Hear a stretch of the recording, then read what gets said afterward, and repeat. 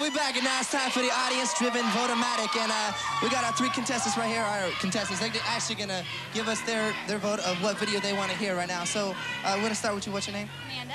Amanda. Okay, baby. I ain't never done this before, but I want to know what is the video you want to hear. I want to see Edwin alive. Alive. Okay. Okay. Video, but you'll like it. It's Okay. I want to see that video. Okay. What is your name? Alex, All right, Alex. What do you want to see? um, ex-girlfriend by No Doubt. Ex-girlfriend. No doubt. Ooh, no doubt. Gwen. Gwen's hot, isn't she? Yeah. Uh, hey, come on, you can admit it. Don't matter. She's hot. Come on. Okay. Well, last but not least, uh, what's your name? I'm Alana. Alana. Okay. Alana or Alana? Alana. Okay. Okay. Okay. Well. Okay. What's the video you want to see? Uh, Good Times by Styles. Good Times by Styles. Ooh. So okay. Well, then we're gonna see right now.